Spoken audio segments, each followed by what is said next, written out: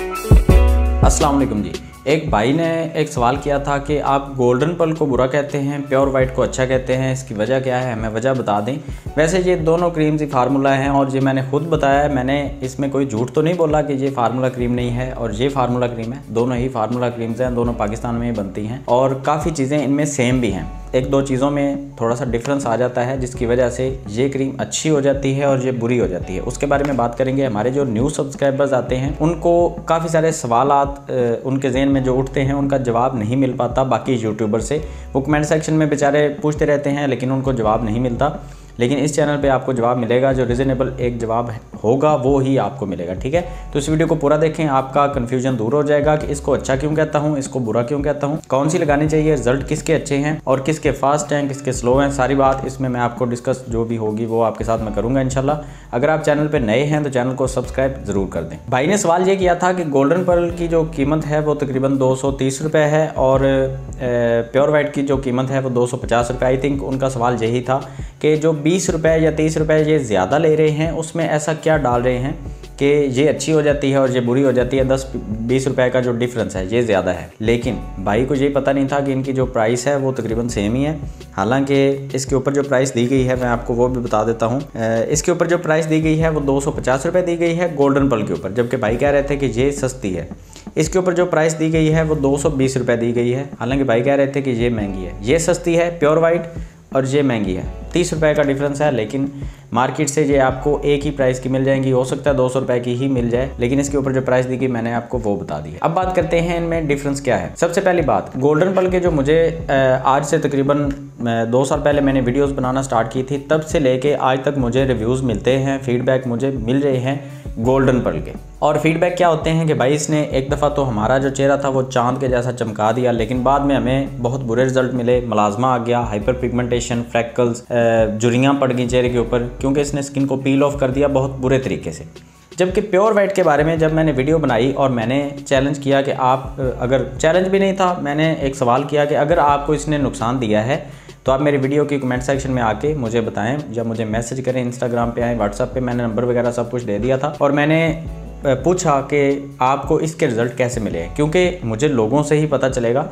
मैंने तो इसको इस्तेमाल किया था तो मुझे इसके रिज़ल्ट बहुत अच्छे मिले थे और मुझे कोई साइड इफ़ेक्ट इसका नज़र नहीं आया था, क्योंकि मैंने इसको बहुत सेफ़ तरीके से इस्तेमाल किया था। वो भी आगे चल के आपको बताता हूँ कि कैसे इस्तेमाल करना है, ठीक है? इस्तेमाल करने में भी बहुत डिफरेंस होता है। तो जब मैंने पूछा तो तकरीबन तीन चार परसेंट जो लोग थे, उन्होंने कहा कि हमें इसके रिज़ल्ट अच्छे नहीं लगे। बाकी तकरीबन नाइन्टी परसेंट या नाइन्टी परसेंट आप कह सकते हैं कि जो लोग थे, उन्होंने इसका फीडबैक मुझे अच्छा दिया। इस बेस पे मैं कहता हूँ कि ये क्रीम अच्छी है। अब बात करते हैं कि कौन सी ऐसी चीज़ है जो इसमें डाली गई है या इसमें डाली गई है, इसमें नहीं डाली गई। मैं क्यों कहता हूँ कि इसको इस्तेमाल ना करें गोल्डन पल को और प्योर वाइट को इस्तेमाल कर लें। देखिए गोल्डन पल आपकी स्किन को पील ऑफ़ करती है प्योर वाइट नहीं करती। अगर आप चाहते हैं कि प्योर वाइट भी स्किन को पील ऑफ़ करे तो बहुत आसान तरीका है। मार्केट से आपको एक सौ रुपये की एक क्रीम मिलेगी। उसमें से आपने एक चने की जितनी क्रीम लेनी है प्योर वाइट के अंदर मिक्स कर दें हाइड्रोक्विनन नाम आपको पता होगा या ट्राइमिलासन है साइटोन प्लस है, और भी काफ़ी सारी क्रीम्स हैं। इसके अंदर मिक्स करें, और ये भी आपकी स्किन को पील ऑफ़ करने लगेगी, और रिज़ल्ट आपको सेम गोल्डन पर्ल वाले ही मिलेंगे। लेकिन उससे आपकी स्किन बहुत ज़्यादा ख़राब हो जाएगी। इसलिए मैं कहता हूँ कि अगर आपने गोल्डन पर्ल इस्तेमाल करनी है तो स्किन की ख़राब होने का इंतज़ार करें। और अपनी स्किन को बाद में रिकवर करने का भी आप जो खर्चा है वो भी अपने जेन में रखें कि आपको डॉक्टर के पास भी जाना पड़ेगा और छः महीने तक आपको अपनी स्किन का ट्रीटमेंट भी कर, करवाना पड़ेगा। इसको रखते हैं साइड पर अब बात करते हैं कि इसको इस्तेमाल किस तरह से करना है। लोग बार बार पूछते हैं कि भाई प्योर वाइट को इस्तेमाल कैसे करना है?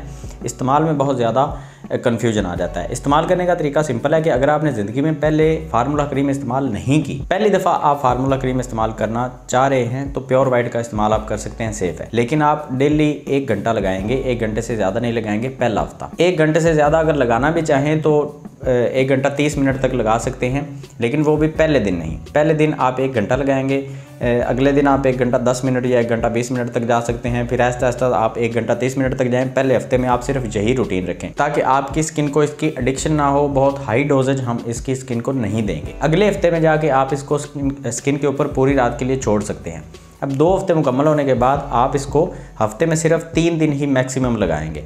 और एक दिन छोड़ के आप इसको यूज़ करते जाएँगे तो आपको इसके कोई भी साइड इफ़ेक्ट देखने को नहीं मिलेंगे। अब बात कर लेते हैं गोल्डन पल के बारे में, अगेन, कि गोल्डन पल को जो लोग इस्तेमाल करते हैं, उसके साथ एहतियात क्या करनी चाहिए? तो मैंने आपको ऑलरेडी बता रखा है कि गोल्डन पल हो, प्योर वाइट हो, कोई भी फार्मूला क्रीम हो, उसके साथ एहतियात आपको सेम ही करनी है।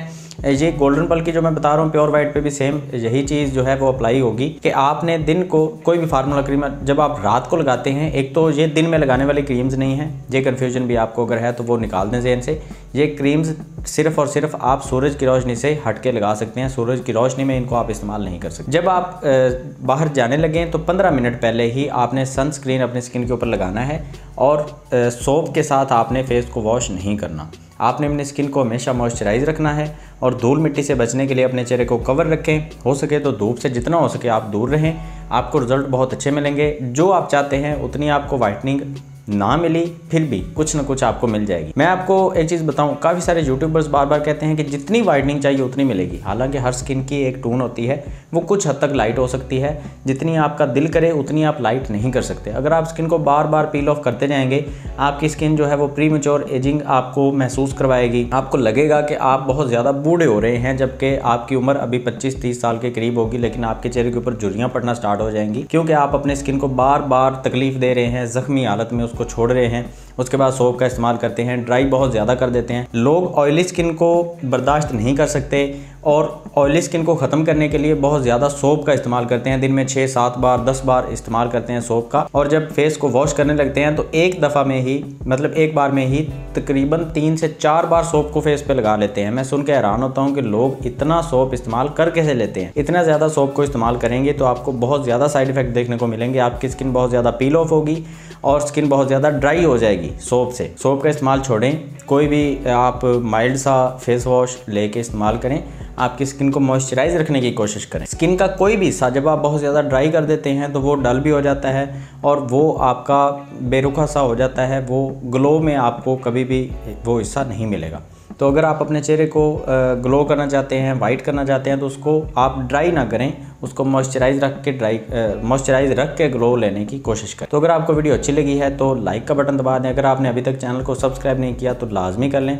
अब आपको रेगुलर बेस पर वीडियोज़ मिलती रहेंगी। हमने अपना नया स्टूडियो जो है, वो तैयार कर लिया है। काफ़ी हद तक कुछ चीज़ें रहती हैं अभी, वो भी हो जाएँगी मेंटेन मेरे दूसरे जो चैनल्स हैं, वहाँ पे भी जाके मुझे सब्सक्राइब करें और स्नैक वीडियो ऐप पे भी मुझे लाजमी से फॉलो करें, क्योंकि टिकटॉक तो बंद हो चुका है। स्नैक वीडियो ऐप पे आपको एक मिनट की वीडियोस जो हैं वो मिलती रहेंगी और वहाँ पे भी हम अपनी फैमिली को बढ़ाने की कोशिश करेंगे इनशाला कोई भी सवाल है तो कमेंट सेक्शन में आप पूछ सकते हैं। मिलते हैं नेक्स्ट वीडियो में। दुआ में याद रखें। अल्लाह हाफिज़।